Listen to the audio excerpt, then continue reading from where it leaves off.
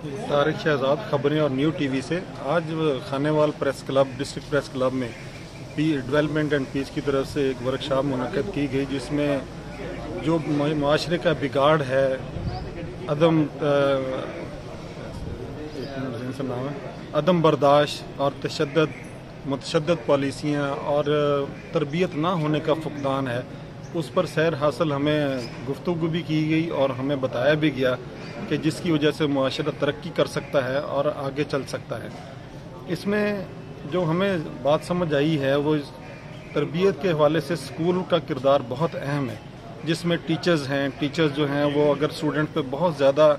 अपना इन्फ्लुएंस भी रखती हैं और स्टूडेंट्स भी उनका कहना मानने के लिए हर वक्त तैयार होते हैं। अगरचे ये घर से ही शुरू होना चाहिए था, लेकिन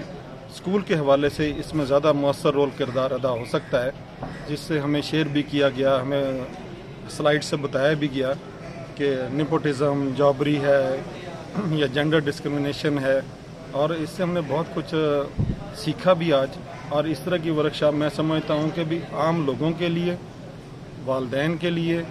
इवन सहाफ़ियों के लिए भी बहुत मौसर किरदार अदा कर सकती हैं। और इसका होना बड़ा अहम अहम है इस वक्त जबकि बहुत ज़्यादा हम एक दूसरे से अलग होते जा रहे हैं इस फितने के दौर में, जहाँ फितना माल भी है और एक दूसरे को बर्दाश्त भी नहीं हम कर पाते किसी भी मामले में। उसमें मैं ये समझता हूँ कि भी इस तरह की वर्कशॉप हमारे लिए बहुत अहम साबित होगी और हमें मोटिवेशन भी मिली है कि भी अगर आप लिखें, जिसमें हम बीइंग जर्नलिस्ट अपना एक रोल प्ले कर सकते हैं, जो कि हमारी आँखों से ये वाला फैक्टर ओझल था कि अगर हम अपने अखबार में या टी पर इस तरह का दें